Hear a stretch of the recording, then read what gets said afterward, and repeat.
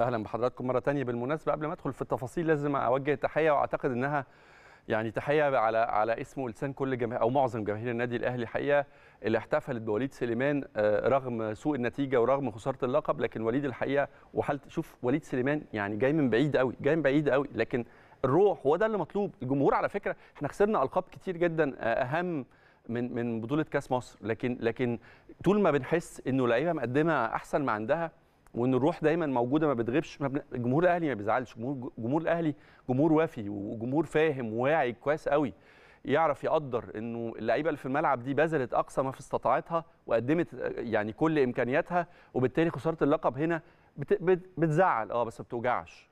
بتزعل بس ما بتوجعش. فوليد سليمان كل التحية الحقيقة كان نجم المباراة الأخيرة قدام نادي الزمالك.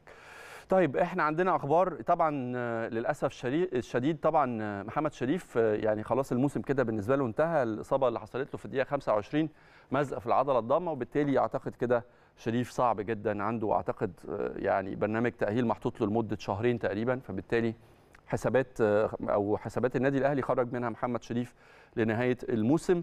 لكن الجميل في الموضوع إنه النهارده بيشارك في التمرين النهارده. طبعا تمرينة أخيرة قبل الفريق ما يدخل معسكر مغلق عشان ماتش الجونة اللي كمان 24 ساعة بالتمام والكمال 6:30 بكرة إن شاء الله.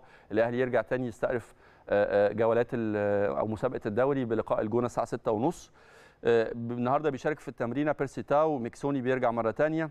أكرم توفيق حمد لله على السلامة. أكرم وأعتقد أكرم بإذن الله يستعيد فورمته في أعلى آه، آه، أشكالها في أسرع وقت ممكن.